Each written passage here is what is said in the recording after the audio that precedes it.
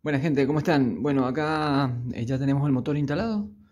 Em, les voy a mostrar eh, más o menos la modificación que hice como para ponerlo. Em, si les sirve de, de tranquilidad, estos motores chinos tienen todos la misma, los mismos encastres. Entonces, si ustedes se animan a poner un 200 o un 250, les va a entrar igual.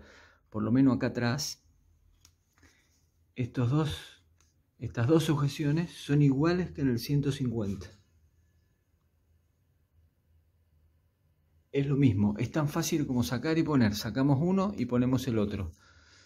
Esta es una tapita que le puse como para las caídas para que no me haga cagar las tapas del motor. Y acá adelante, acá es en el único lugar en donde van a tener que modificar, pero bueno, ahí ya se, ya se dan una idea de más o menos, si más o menos saben soldar alguna cosa de esa, esto lo hacen. Yo lo corté acá, porque esto venía hasta acá abajo y se agarraba, se agarraba la parte baja del motor. Pero como este motor trae balanceador, eh, se, modifica la cuestión acá. Entonces lo que hice fue mm, agarrarlo bien nomás, ponerle doble sujeción ahí, le soldé otra sujeción más. Em, y obviamente acá tuve que cortar y llevar más o menos a la posición, pero mm, con eso demasiado. Con eso demasiado. Está bien este, esta sujeción que tiene, por lo menos que me trajo esta moto, es bien cojuda, bien, bien, bien gruesita. Así que no, no hay mayor, mayor problema. Yo tenía miedo de que me tocara en el tanque, pero la verdad que me quedó de 10. Eh, ahí me, entra un medio centímetro más o menos, me quedó del, del tanque, porque lo que molesta acá es el tanque de plástico. Eh, pero no, la verdad que no tuve problemas, quedó perfecto ahí como para sacar acá y regular válvulas.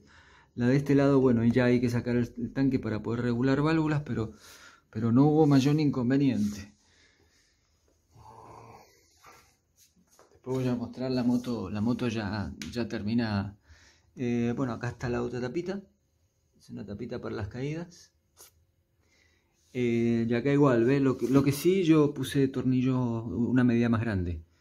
Eh, creo que son tornillos tornillos de 8 o de 10, no me acuerdo, pero yo agrandé un poquito y metí tornillos un poco más cojudos.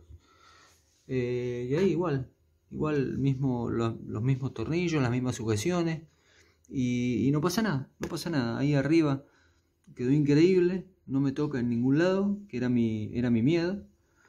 Eh, así que quedó, quedó de 10 el motor, realmente quedó de 10. Em,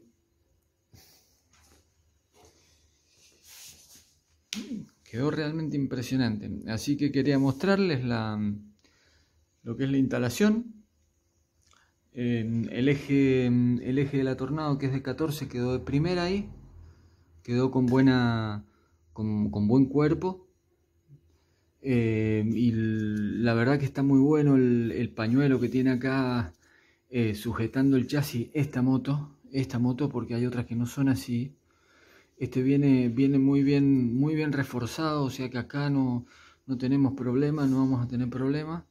Eh, pero eso, eso quedó increíble la verdad. Así que dejen el pulgar arriba y les mando un abrazo, gente.